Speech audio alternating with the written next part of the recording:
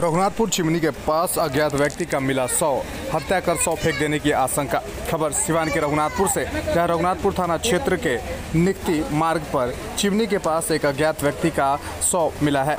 सौ मिलने के बाद लोगों में अफरा थपरी मच गई व काफ़ी संख्या में लोग सौ की पहचान करने के लिए पहुँच गए। हालाँकि सौ की पहचान नहीं की जा सकी।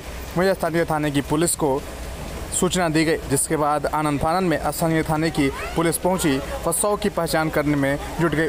वहीं मृतक टी शर्ट पहने हुए है।